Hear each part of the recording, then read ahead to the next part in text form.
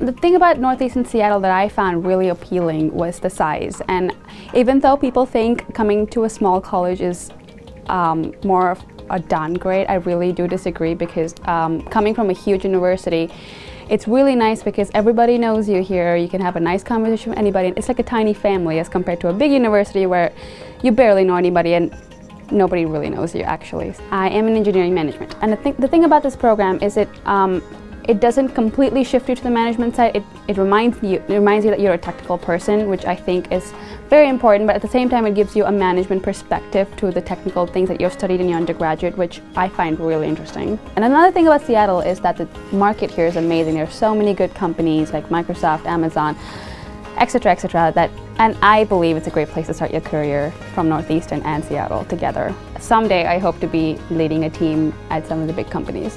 That's what I hope to achieve from this program.